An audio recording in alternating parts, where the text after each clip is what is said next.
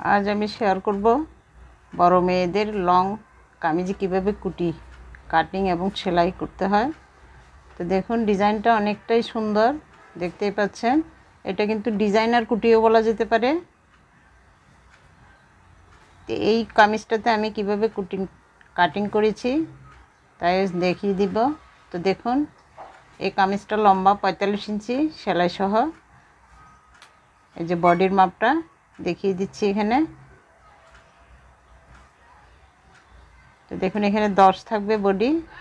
আমি দেড় ইঞ্চি করে সেলাইয়ের জন্য বাড়তি রেখে কামিজটা কাটিং করে নিয়েছি। আর্ম হলের জন্য এখানে সাড়ে ছয়।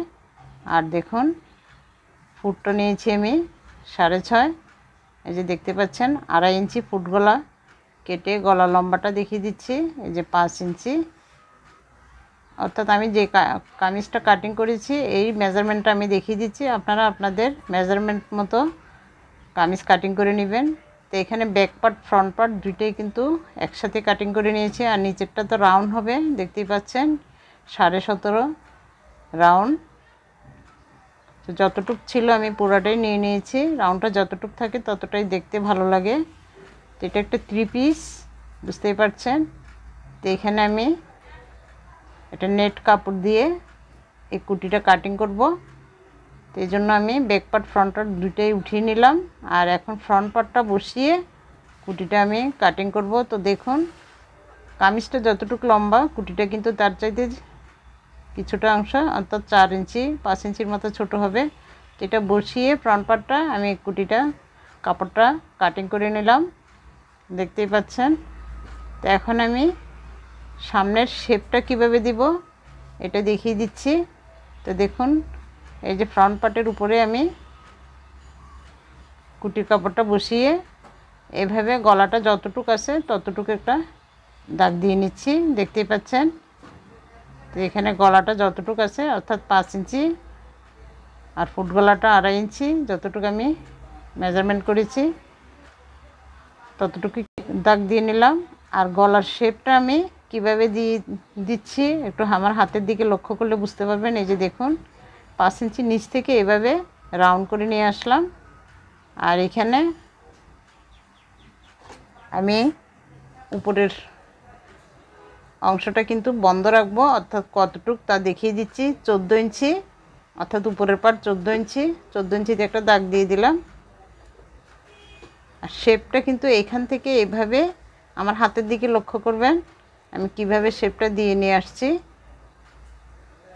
যেহেতু এটা একটা জর্জেট কাপড় এই জন্য দাগটা ততটা বোঝা যাচ্ছে না।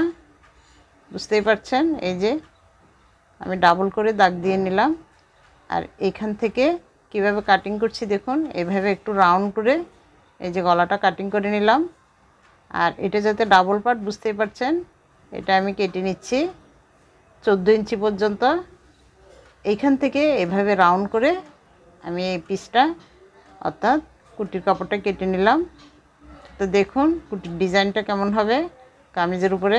এটা কিন্তু বড় মেয়েদের ডিজাইনার কুটি তো চলে আসলাম সেলাই করতে। তো এখন এই যে কুটির এক পিস কাপড় নিয়ে নিলাম। আর এক পিস পট্টির জন্য কাপড় কেটে নিয়েছি, দেখুন, দেড় ইঞ্চি চৌড়া করে।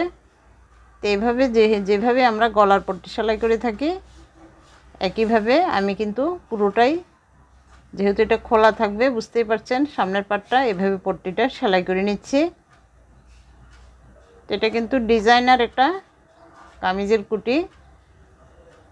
এই ধরনের একটা কুটি লাগানো হলে কিন্তু কামিজটা অনেক সুন্দর দেখায়। তো এভাবে একটা চাপ সেলাই দিয়ে নিচ্ছি।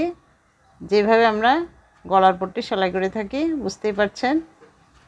তো এভাবে সেলাই করে নিলাম। তাহলে কিন্তু ফিনিশিংটা সুন্দর আসবে, দেখতেই পাচ্ছেন। তো এখন আমি এভাবে মুড়িয়ে হাফ ইঞ্চি করে একটা চাপ সেলাই দিয়ে পুরো পট্টিটা সেলাই করে নিব।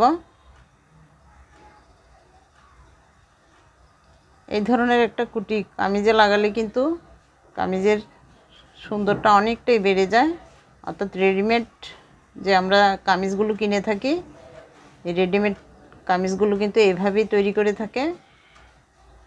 তো এই ধরনের একটা কামিজ কিন্তু আমরা ঘরেই তৈরি করে নিতে পারি। সুন্দর একটা ডিজাইন কিন্তু। আর এই ধরনের ডিজাইন করলে কিন্তু এই রেডিমেড কামিজগুলো অনেকটা দামে কিনতে হয়। তো এই ধরনের একটা কামিজ কিন্তু আমরা পিস কাপড় কিনে ঘরেই তৈরি করে নিতে পারি পছন্দ মতো কাপড় দিয়ে। তো দেখুন, অফ ক্যামেরায় আমি আরেকটা পার্ট একইভাবে সেলাই করে নিয়েছি, এটা শেয়ার করলাম না, যেহেতু একই ডিজাইন। তো এখন আমি ফ্রন্ট পার্টটার গলাটা কিন্তু সেলাই করে নিয়েছি। এই যে দেখতে পাচ্ছেন এটার আমি শেয়ার করি নাই। এভাবে বসিয়ে দেখুন, যেহেতু আমার সামনের পার্টটা বসিয়ে আমি এই কুটির কাপড়টা কেটে নিয়েছি, এতে কিন্তু আমার আর ছোটো বড় হওয়ার কোনো চান্স নেই। তো এখন আমি এই যে সামনের পাটে এভাবে বসিয়ে নিলাম। দেখুন রাউন্ড সাইডটা কত সুন্দর দেখাচ্ছে। এখন আমি উপর থেকে শোল্ডারটা জয়েন দিয়ে, অর্থাৎ কুটিটা পুরোপুরি আমি বসিয়ে নিব। বডিটার উপরে। এইভাবে সাইডটা আমি দেখুন কীভাবে জয়েন করে নিচ্ছি। যেহেতু আমি একটা কাপড়ের উপর আরেকটা কাপড় বসিয়ে নিয়েছি, অবশ্যই লক্ষ্য করেছেন, এতে কিন্তু আমার আর ছোটো বড় হওয়ার কোনো চান্সই থাকবে না। তো দেখুন, একটা সাইড এভাবে জয়েন করে নিলাম অপোজিট সাইডটাও একইভাবে জয়েন করে নিব।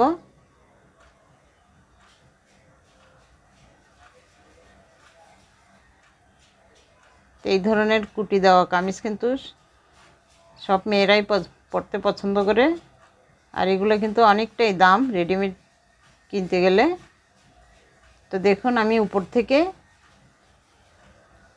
কতটুক বন্ধ রাখব, এটা একটা দাগ দিয়ে নিচ্ছি, অর্থাৎ চোদ্দ ইঞ্চি।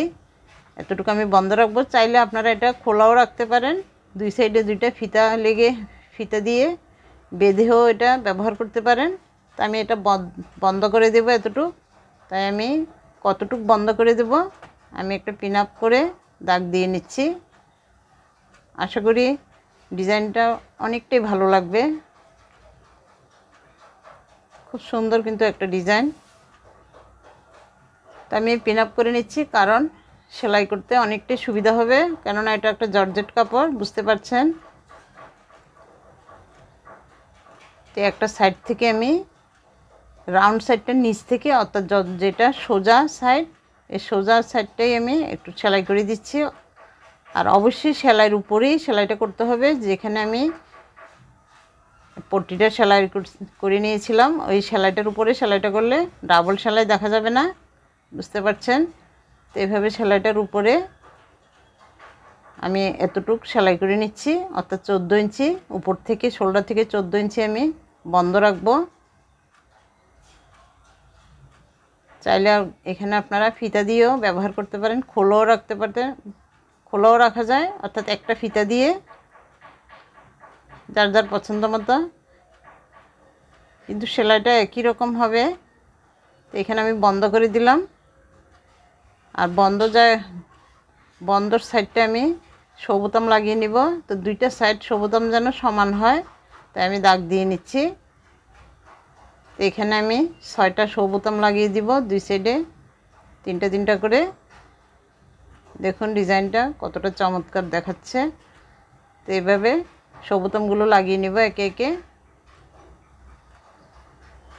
অবশ্যই একবার ট্রাই করে দেখতে পারবেন আর আমাকে কমেন্টস করে জানাবেন ডিজাইনটা কতটা সুন্দর দেখাচ্ছে। এই ধরনের একটা রেডিমেড কামিজ কিন্তু আমরা ঘরেই তৈরি করে নিতে পারি। কতটা ইজিতে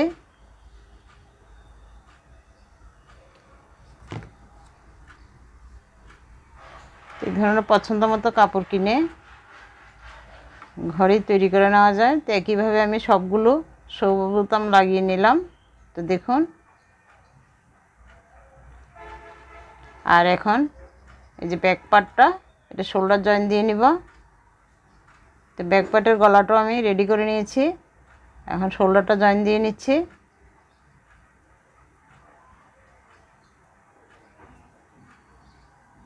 তো অবশ্যই একবার ট্রাই করে দেখবেন। আশা করি ভালো লাগবে। এই সাইডে শোল্ডারটা আমি দুইটা শোল্ডার জয়েন করে নিলাম।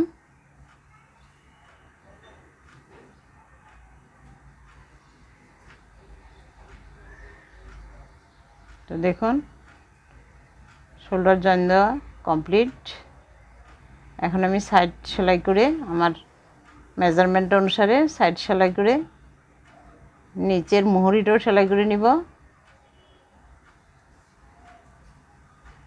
দেখুন রাউন্ডটা এই চোদ্দ ইঞ্চি নিচ থেকে এভাবে রাউন্ড হয়ে আসছে, বুঝতেই পারছেন? আর হাতার ডিজাইনটাও আমি আমার চ্যানেলে দিয়ে দিয়েছি।